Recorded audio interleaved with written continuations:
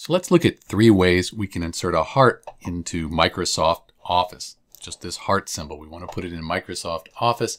So the first way, this is the way I would do this if I was just creating a document in Microsoft Word. I want to have a heart in it. Insert icons, and then I type, when it comes up, I'll type heart, and then it'll give me a number of different icons. So I could click here, insert, and there's the heart. And this is an image, so you can resize this. You can't move it around very easily within text unless you click right here and you do text wrapping. Once you do that, then you can move it around and your text will adjust around that and you'll have your heart in Microsoft Word. Another way we can do this is on your keyboard, press the Alt key plus the number 3.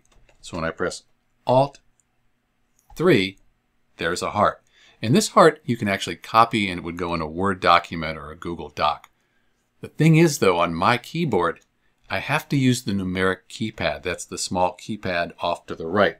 If I press Alt and 3 on the top above the spacebar and the other keys, it doesn't work, only with the numeric keypad. So we can insert hearts that way. Alt 3. One last way. This is another way you can put a heart into your Word document that'll copy out into other applications. You go to Insert, Symbol, More Symbols. This is kind of long.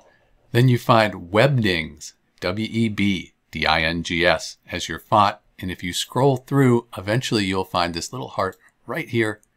And you can insert that into your Word document. And there it is. And you can make this bigger as well or you can even change the color of it if you like. Highlight it, change the color, treats it much like text. So those are three ways you can insert the heart symbol in Microsoft Word. I hope you found this helpful. This is Dr. B. Thanks for watching.